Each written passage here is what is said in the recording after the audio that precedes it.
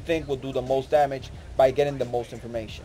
If you have a, a business that that stores music, uh, music not by saying music, I mean like a regular CD. I mean music like maybe you have artists and you are recording artist music. You don't want that artist music out there before the artist even releases the CD. Well, that's what these people do. Crackers, they get in there, they find that music, they take it out of your system, they bring it out to the web. Uh, movies, they do the same thing. So these are different type of entities. They work different. They are different. Uh, the means are the same to do something bad, but the way they do it is different. One wants to get control, power. You already know that's the hacker.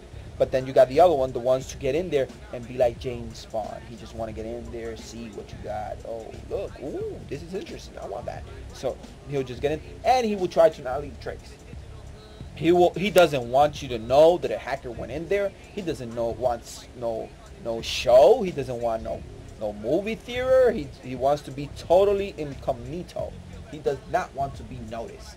So that's what the that's what the crackers does. So now that we understand these two entities that are out there and that are uh, the ones that are bringing all these problems towards the community of networks. So what are we gonna do then? Well, let's let's keep covering this video, and we'll keep seeing what am I trying to say. You know, uh, the important thing here is, did you understand? Is no more secrets. Peoples tend to think within, well, within nobody knows. I'll leave it like that because nobody knows. Believe me, people know. They already know, and they know how, and they know why, where, and when to do what. They know. Do not believe it's not going to happen to you because they don't know. They will know. They do know. It's just a matter of do I want to attack you? And, and we're going to talk about that. So second topic, let's go to another topic. It will be like, uh, okay, what is a computer? What is the networks? What is all this? Okay. This is a good one because people need to have a little bit of knowledge.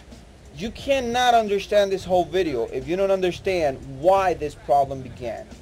And we have to start by understanding why this problem began. So we got to go a little bit back to history.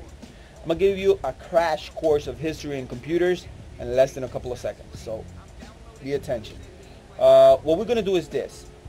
Computers started around, remember, people tend to think this has been forever, but this is like a very short period of time that we have gone from what we didn't have to what we have now.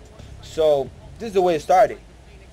The history of computers started like around the 70s, um, roughly. I don't want to go back to the 60s or that because I don't really consider those computers. Uh, they used to be called computers, and um, I remember then uh, AT&T at that time started with the with their first networks and all that.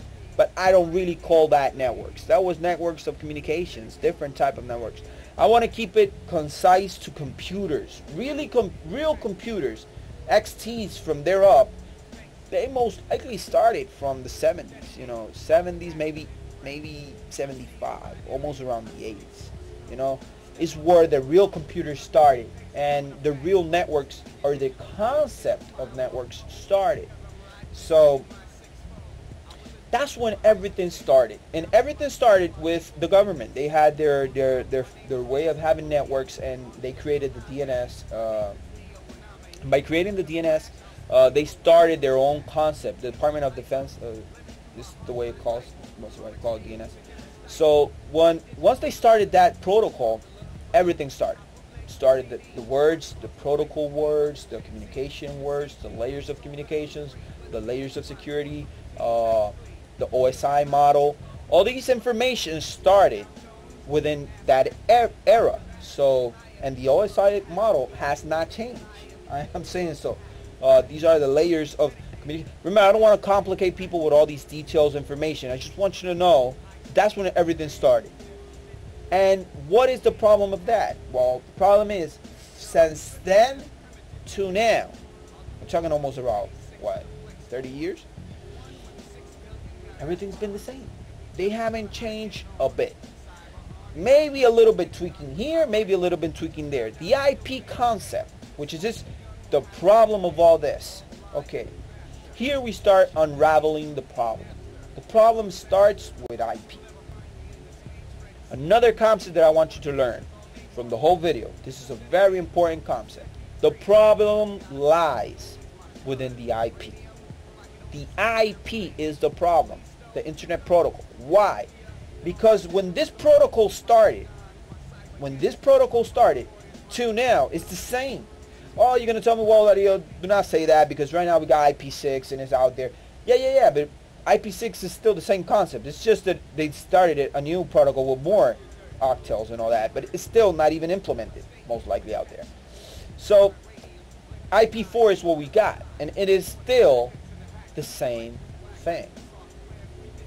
And the concept of this protocol, the way it communicates, is the same. Since then, towards now. What is the problem with that, Dario? Well, the problem is when you have something out there for so long and it is the same, you get people that begins to learn it so well that they become masters on it. They understand the whole concept of it. They understand every bit of it. They understand every electron about it. And when they do understand that, that's it. Because they understand. And and it is no mystery in there no more. And once it's no, it's no mystery, you know, how can you stop that? So IP, you know, is the problem. It's, it's, it's where everything starts. Remember, a hacker could hack your computer from the IP. It could hack your system from an IP. He could get into your equipment if they are IP ready. And it all starts through the IP. Okay. So what you're saying is pretty simple. You're saying since the technology started to now, we are still using the same layers and communication protocols that are out there. Yeah, that's what I'm saying. And I'm also saying that since we started to now, we're still using the same medias of the communications. We have enhanced some, we have added some. The ones that we add, we're going to cover it, and the ones that are still the same, they're still the same. It's just the same. You know, when we started uh, computers a long time ago, uh, it was different because you had you had different topologies and you had different uh, protocols. Uh, you had different uh, companies doing different type of communication layers. I remember IBM had their own. Um, they still do, but you know, it all has simplified into Ethernet. You know, Ethernet and everything is running star. It's pretty simple. So the problem lies within the IP. And since we started to now, that's what is happening. We haven't changed that. By not changing that, we are placed ourselves in a very, very uncomfortable spot. Okay. So most likely that's what I wanted to cover with why is this happening. This is happening because the time has passed. We haven't changed much about it.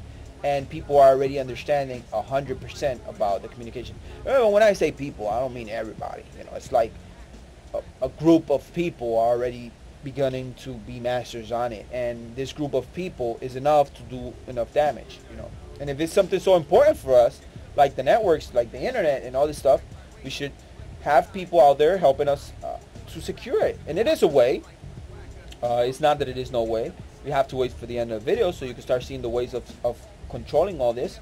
But it is ways. It is way of, of, of securing all this and making sure that all this is working and, and how to keep it working. Just got to get to there and you'll see. We're going to cover that. Let's go with the other topic. Okay. Another, another word that I've been using a lot is attacks. And if you see, I'm trying to cover each thing by its words, and then at the end, I'm going to start doing the packages. How does the hackers work? What attacks do they do? How do they do it? And I'm going to be more specific. Remember, this video is not